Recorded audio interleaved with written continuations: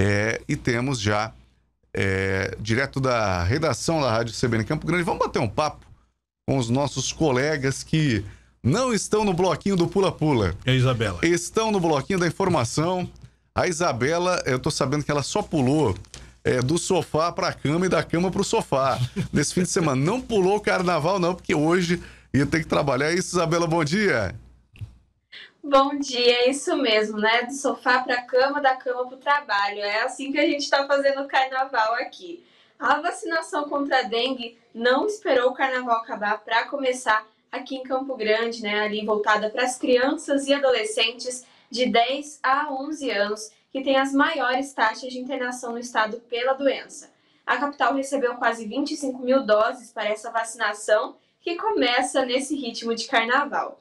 A distribuição das doses pelo Ministério da Saúde aos municípios do Mato Grosso do Sul foi determinada com base em três critérios principais: o ranqueamento das regiões de saúde dos municípios, o quantitativo necessário de doses para essa população-alvo das crianças e o cálculo total de doses a serem entregues em uma única remessa ao município. Então foram levados esses três critérios em consideração para começar a vacinação em Mato Grosso do Sul. Três Lagoas não ficou de fora dessa distribuição e também recebeu 3.896 doses da vacina contra a dengue.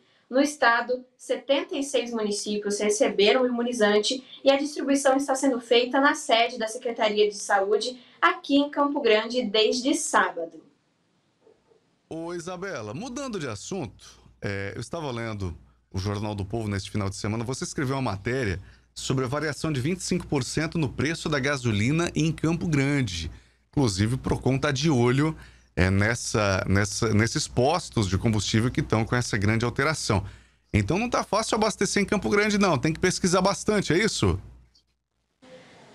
Tem que pesquisar, exatamente, né? Tem uma variação bem grande de preços aqui. É, ali temos uma gasolina mais barata, em cerca de R$ 5,19, 20 centavos, até umas que chegam a quase seis reais, né, ali 5,40. Então, realmente fazer essa pesquisa de preços, né, ainda mais para dar uma economizada no mês, é muito importante para o consumidor. É, 3,79 o litro do etanol pode ser encontrado aí em Campo Grande, então realmente é um preço bastante bastante alto, né, Isabela? Então quem vai daqui de Três Lagoas para Campo Grande tem que realmente ficar de olho até porque, Isabela, não sei se você é, tem vindo muito é, para essa região, mas é, água clara consegue consegue estar tá pior o preço.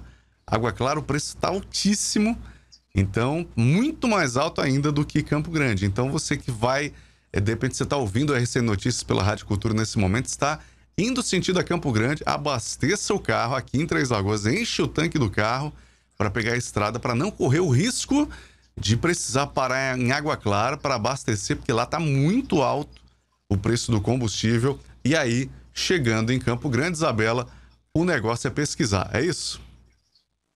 Exatamente, né? Quem, para quem está viajando é sempre melhor olhar ali o preço dos postos de combustíveis para dar aquela abastecida nas cidades mais em conta aqui do estado. Em Campo Grande, se você quiser saber quais postos estão ali é, Fazendo um, um benzinho para o bolso, é só acessar o portal XN67 na aba Campo Grande. A gente tem a pesquisa completa ali com os endereços, com tudo certinho para quem quiser abastecer mais barato nesse carnaval.